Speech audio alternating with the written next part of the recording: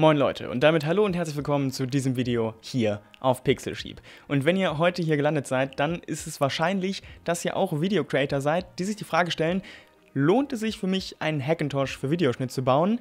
Und naja, diese Frage habe ich auch versucht, mir vor ein paar Wochen zu beantworten, denn ich hatte große Probleme in meinem Schnittprogramm in DaVinci Resolve unter Windows.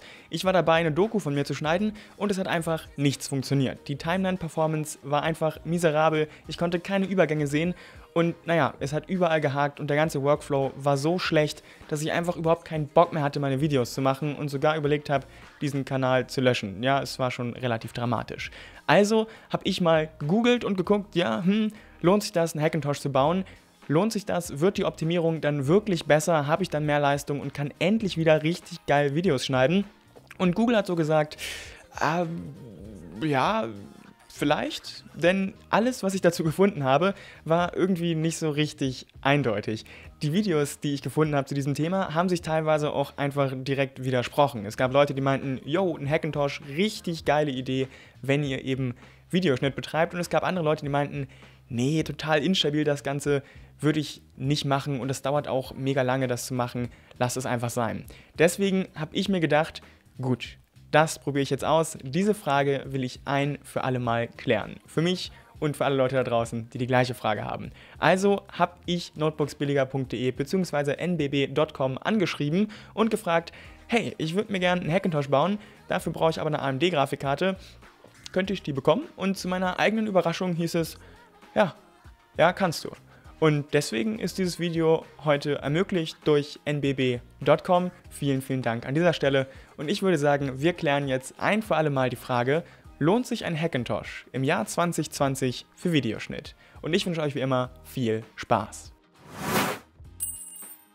Ich habe es gerade schon erwähnt, aber nochmal der Disclaimer. Notebooks billiger bzw. nbb.com, wie sie jetzt heißen, hat mir für dieses Video die AMD Radeon RX 5500 XT zur Verfügung gestellt und diese Grafikkarte darf ich auch nach dem Video behalten und bin dafür sehr, sehr dankbar, diese Unterstützung einfach so zu bekommen. Trotzdem darf ich natürlich sagen, was auch immer ich möchte. Trotzdem an der Stelle riesiges, riesiges Dankeschön an nbb.com, denn ohne die hätte ich mir Hackintosh überhaupt nicht bauen können. Aber ich würde sagen, wir klären jetzt nochmal, was genau war noch ein Hackintosh und legen dann endlich los mit den Antworten auf die Frage, ob sich das lohnt. Ein Hackintosh ist eigentlich relativ schnell erklärt. Man nimmt einfach einen Computer, der nicht von Apple kommt, den man also irgendwo anders gekauft hat oder selbst zusammengestellt und installiert da irgendwie macOS drauf. Das Ganze kann ein bisschen kompliziert sein, weil Apple das natürlich eigentlich nicht möchte, kann sich aber richtig lohnen, denn dadurch bekommt man die Optimierung von macOS und eben auch macOS-spezifische Programme, wie zum Beispiel GarageBand oder das Schnittprogramm Final Cut Pro X, ohne eben mehrere tausend Euro für einen Apple-Computer ausgeben zu müssen. Und gerade deswegen interessieren sich häufig Leute Leute mit nicht dem größten Budget eben für Hackintoshes. Und nachdem wir jetzt alle wieder wissen, was genau ein Hackintosh nochmal war, folgt jetzt auch schon der Part mit den vielen Zahlen. Denn nachdem ich dann Stunden, Tage, ja schon eine Woche rein investiert hatte, um meinen Hackintosh zum Laufen zu bringen, wollte ich natürlich auch wissen, haben sich jetzt diese hunderte Zeilen Code, die niemand so richtig verstanden hat und der kleine Russisch-Crashkurs, weil irgendwie das Setup auf Russisch war, jetzt gelohnt? Funktioniert mein Hackintosh wirklich so, wie er das soll? Und wie überprüfe ich das?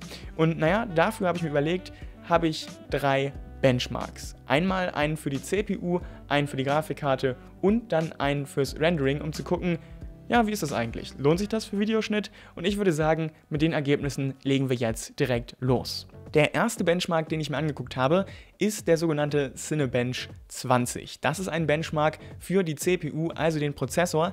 Denn ich wollte ja wissen, bringt mein Prozessor, in dem Fall der Ryzen 5 3600 im Hackintosh, wirklich die Leistung, die er bringen soll? Also funktioniert mein Hackintosh wirklich richtig? Und dafür wollte ich eben gucken, wie sieht das leistungstechnisch da aus. Und im Cinebench 20 bringt unter macOS mein Prozessor eine Punktzahl von 3644 Punkten und unter Windows hat er eine Punktzahl von nur 3569 Punkten. Das heißt, wir sehen, macOS hat hier einen kleinen, kleinen Vorteil und man kann aber schon erkennen, die Leistung, die der Prozessor bringen sollte, ist auf jeden Fall vorhanden und der Hackintosh funktioniert gut.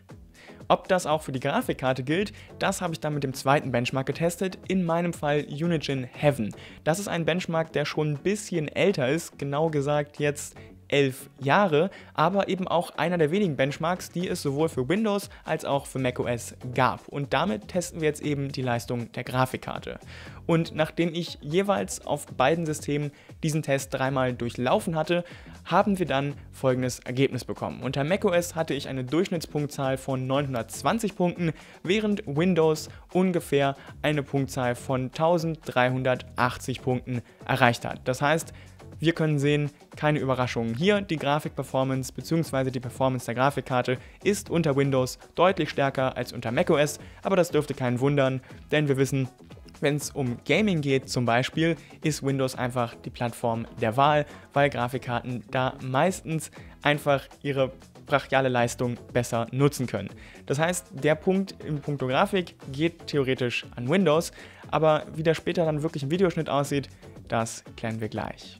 Denn jetzt ist es Zeit, sich wirklich mal anzugucken, wie schlägt sich das Ding denn dann beim Videoschnitt. Dafür habe ich auf dem Hackintosh natürlich erstmal DaVinci Resolve installiert, in meinem Fall die kostenfreie Version. Das ist eine wichtige Information, die viele Leute leider bei ihren Vergleichen nicht geben. Das heißt, es ist nicht die Studio-Version, es ist die komplett kostenlose Version, über die ich auch schon ein Video gemacht habe. Und in dieses Schnittprogramm, also in DaVinci Resolve, habe ich dann eine Datei reingezogen, nämlich ein Testvideo vom Kamerahersteller Red. Der bringt eben immer wieder Testvideos raus und das habe ich halt genutzt, weil man das sehr gut vergleichen kann, weil es auf Windows und macOS genau gleich ist. In dem Fall war das Testvideo 18 Sekunden lang und eben eine 4K-Aufnahme von einer Red-Kamera. Das ganze Ding habe ich dann in eine Timeline gezogen, die in 4K war und habe jegliches Hintergrundrendering bei DaVinci Resolve ausgeschaltet. Das heißt, es gibt keine optimierten Medien, es gibt keine Proxys, die Auflösung der Timeline liegt bei 100%, das heißt nicht bei 50 oder 25%, bei 100% und ich habe auch gesagt, dass kein Cache im Hintergrund gerendert werden soll, sodass eben alles, was man in der Timeline macht, live berechnet wird und man wirklich gucken kann, was ist jetzt stärker, Windows oder macOS. Dann habe ich die Maus einfach mal ein bisschen nach rechts und links bewegt, um zu gucken, wie sieht das Ganze aus. Ist das Bild flüssig, wenn ich die Maus da durchbewege? Wie sieht das mit dem Playback aus? Was sind da so die Ergebnisse? Und wie ihr hier schon sehen könnt, sind die Ergebnisse in dem Fall ziemlich gleich. Ich hatte sogar das Gefühl, dass es unter Windows noch ein bisschen flüssiger ist. Das sieht man vielleicht im Video nicht so gut, aber wenn man die Maus in der Hand hatte, fühlt es sich bei Windows einfach nochmal einen Ticken direkter an als unter macOS. Trotzdem ist natürlich auch die Timeline-Performance hier unter macOS echt sehr gut und man kann das Ding einfach easy durchscrubben, wie es so schön heißt, und es ist ziemlich flüssig. Das heißt, beide Systeme nehmen sich hier eigentlich nicht so viel. Wo das aber anders wird, ist beim Rendern. Denn man kennt es, man hat das Video dann fertig gemacht und man möchte das Video dann gerne rausrendern. Und wenn wir hier in den Delivery Tab gehen bei DaVinci Resolve, habe ich natürlich auch bei Windows und bei macOS gleiche Einstellungen, aber wir sehen bei macOS, dass es eine Einstellung gibt, die Windows nicht hat, nämlich die Checkbox Use Hardware Acceleration if available. Das heißt, nutze Hardwarebeschleunigung, falls es sie gibt. Denn Apple hat mit den AMD-Grafikkarten eine sogenannte Metal-Beschleunigung, die eben genutzt werden kann, in diesem Fall von DaVinci Resolve, um zum Beispiel das Video rauszurendern. Und das macht einen großen Unterschied, wenn es um die Zeit geht, die man eben braucht, um ein Video zu rendern. Denn unter macOS brauche ich bei natürlich gleichen Einstellungen für dieses 18-sekündige Video in 4K natürlich gerendert 11 Sekunden, um dieses Video rauszurendern. Bei Windows sind es 37, was natürlich schon ein extremer Unterschied ist. Und da kann man sagen, Timeline Performance war ungefähr gleich und das Rendering geht an macOS, das heißt, der Hackintosh gewinnt hier auf jeden Fall. Aber ich möchte natürlich hier Nägel mit Köpfen machen und feststellen, ist es wirklich besser. Das heißt, ich habe mir gedacht, du nimmst jetzt ein echtes Projekt von dir und ziehst es da in diese Timeline rein. Dafür habe ich meine 3D-Drucker-Doku genommen, die ich vor ein paar Wochen hochgeladen habe. Das Ding ist 16 Minuten 40 lang, hat viele verschiedene Ebenen, das heißt, es ist wirklich anspruchsvoll und das ganze Teil ist in 4K. Das heißt, das Ding habe ich genommen und in eine 4K-Timeline in DaVinci Resolve reingezogen, wieder jegliches Hintergrundrendering ausgeschaltet, keine Hilfen und dann geguckt, was performt besser, Windows oder macOS. Und das Ergebnis sehen wir hier. Und man sieht hier wahrscheinlich schon, macOS läuft einfach besser. Man kann ziemlich gut durch den ganzen Footage durchgehen. Das heißt, wenn man die Maus bewegt, wird es alles ziemlich flüssig angezeigt und die Zeit, die vergeht von Mausbewegen zu das neue Bild, was da sein sollte, wird angezeigt, ist ziemlich niedrig. Man merkt einfach, wenn man die Maus durchzieht, naja, hier wird der Footage angezeigt und ich kann flüssig durch den ganzen Footage einfach durchblättern. Und man sieht bei Windows ist das nicht ganz so, denn teilweise ist es so, dass ich die Maus bewege und das Bild ändert sich und es ist alles cool und ich kann einfach easy durch den Footage durch. Aber man sieht an vielen Stellen fängt es irgendwie an zu ruckeln und das ist die Krux bei Windows. Denn teilweise war es so, dass man eben den Kopf bewegt durch die Timeline und es läuft alles flüssig und auf einmal stockt es. Es stockt einfach zufällig für ein, zwei Sekunden und dann geht's weiter. Man hat einfach das Gefühl, dass das Programm im Hintergrund ziemlich naja, instabil läuft. Und auch wenn man dann Leertaste drückt, um das Ganze abzuspielen, sieht man bei macOS, dass es eigentlich ziemlich zügig losgeht und es da keine Probleme gibt, während es bei Windows, gerade mit AMD-Grafikkarten, das Problem gab, dass das ganze Playback ziemlich hart gestockt hat. Warum, das verstehe ich auch nicht. Bei Nvidia-Grafikkarten war das nämlich irgendwie nicht so. Man sieht aber schon, beim Thema Timeline Performance hat der Hackintosh hier ganz, ganz klar die Nase vorn. Gerade wenn es um so ein großes Projekt wie jetzt die 3D-Drucker-Doku geht. Aber auch bei meinen kleineren Kameradateien, wie zum Beispiel diese Moderation, die ich gerade aufnehme, das heißt meine Dateien von meiner Lumix G81 in 4K, laufen beim Hackintosh viel, viel besser. Wenn ich da durchgehe, kann ich es eigentlich flüssig sehen und ich sehe quasi schon, selbst wenn ich nicht auf Play drücke, sondern nur mit der Maus durchgehe, was ich sage, weil es einfach ziemlich flüssig läuft. Während ich bei Windows das Gefühl habe, ab und zu mal irgendwie ja, eine Dia-Show zu gucken. Und da ist die Performance einfach absolut nicht gleich und der Hackintosh gewinnt haushoch. Natürlich sehen wir auch das gleiche wieder, was wir eben bei dem Red Footage gesehen haben, wenn wir zum Rendering kommen. Denn bei macOS hatte ich hier natürlich wieder die Hardware Acceleration aktiv, das heißt es wurde Hardware beschleunigt und diese 3D-Drucker-Doku 16 Minuten 40 lang in 4K einmal rauszurendern, dauert unter macOS 13 Minuten und 9 Sekunden. Windows braucht hierfür 25 Minuten. Und da sehen wir eigentlich schon, der Hackintosh hat die bessere Timeline-Performance, eine viel, viel bessere Rendering-Performance und gewinnt dafür in meinen Augen ganz klar. Wichtig, das Rendering ist mir gar nicht so unglaublich wichtig, denn mir ist es einfach ein Anliegen, dass meine Timeline flüssig läuft, wenn ich da durchgucke. Denn wenn ich schneide, möchte ich meine Videos schnell kürzer schneiden, länger schneiden, Videos nach oben verschieben, nach unten verschieben, Musik reinziehen und das soll flüssig laufen. Ob das Rendering jetzt eine halbe Stunde dauert oder eine Stunde, ist mir relativ egal. Aber ich denke mal, man hat es hier schon gesehen in den Aufnahmen, der Hackintosh ist einfach viel flüssiger als unter Windows und man hat einfach viel mehr Vertrauen. Denn auch ein Problem unter Windows, es läuft halt flüssig, dann stockt es ab und zu, dann läuft es wieder flüssig und sobald man anfängt raus und rein zu zoomen, ist es mir schon ein, zweimal passiert, dass es dann wirklich massiv geleckt hat. Das heißt, das ganze Ding ist einfach eingefroren und ich hatte doch große Angst, dass das ganze Programm jetzt einfach abstürzt. Und naja, das bringt uns eigentlich zu einem relativ klaren Fazit. Wenn ihr euch zutraut, einen Hackintosh zu bauen und sagt, ja, ich habe die Zeit, ich habe die Expertise, hier ein paar Tage, wenn nicht vielleicht auch ein, zwei Wochen da reinzustecken, bis der Hackintosh dann funktioniert, dann kann ich sagen, ja, macht es. Wenn ihr mit DaVinci Resolve schneidet, lohnt es sich auf jeden Fall einen Hackintosh zu bauen. Ihr braucht halt nur eine AMD-Grafikkarte und Teile, die halt für einen Hackintosh passen. Wenn ihr denkt, nee, so mit Technik habe ich es dann vielleicht doch nicht so oder so tief will ich dann nicht einsteigen, ich will mich nicht nächtelang mit irgendwelchen Codezeilen und Russisch rumplagen, naja, dann empfehle ich euch, euren Windows-Rechner nochmal ein bisschen aufzurüsten. Denn was mir zum Beispiel aufgefallen ist im Verlauf dieses Videos, ist, dass ich selber unterschätzt habe, wie wichtig SSDs für Videoschnitt sind. Denn vorher hatte ich nur eine normale SSD mit 300, 400 MB pro Sekunde circa und der Videoschnitt auf macOS und Windows war auf beiden Systemen deutlich schlechter, als er jetzt ist, wie ich ihn euch im Video gezeigt habe. Dann habe ich mal einen Kumpel gefragt, was in seinem MacBook so für eine SSD ist und der hat mir dann halt ein Bild geschickt, wo man sehen konnte, dass seine SSD so ungefähr 1000 MB pro Sekunde mitmacht. Das konnte ich natürlich nicht auf mir sitzen lassen, bin dann nochmal auf nbb.com gegangen und habe mir eine M2 SSD mit 2000 MB pro Sekunde schreibend und lesend gekauft und seitdem ist der Videoschnitt auf beiden Systemen viel besser. Übrigens, ich kriege kein Geld von NBB oder so, ähm, aber der Preis war da einfach am besten.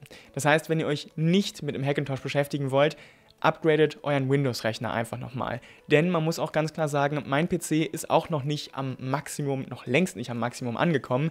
Zum Beispiel habe ich nur 16 GB RAM. DaVinci Resolve bzw. Blackmagic empfiehlt aber eigentlich 32 GB RAM, wenn man mit 4K-Dateien durch die Gegend schneidet, was ich tue. In meinem Fall läuft es beim Hackintosh richtig gut, bei Windows ja, nicht so richtig toll. Das heißt, wenn ihr die Windows-Route wählen wollt, dann seht zu, dass ihr vielleicht einfach nochmal ein bisschen bessere Komponenten kauft, als der Hackintosh jetzt bräuchte. Das heißt, die Idee ist da quasi, die Optimierung und die Leistungsverbesserungen, die euch der Hackintosh bieten würde, einfach durch ganz stumpf pure Mehrleistung unter Windows eben auszugleichen, indem man Windows einfach noch mehr Leistung gibt als vorher und dann weiß, okay, die Optimierung ist vielleicht nicht ganz so gut, aber dadurch, dass meine Komponenten noch mal viel besser sind, als sie in meinem Hackintosh wären, wird die gleiche Leistung erreicht.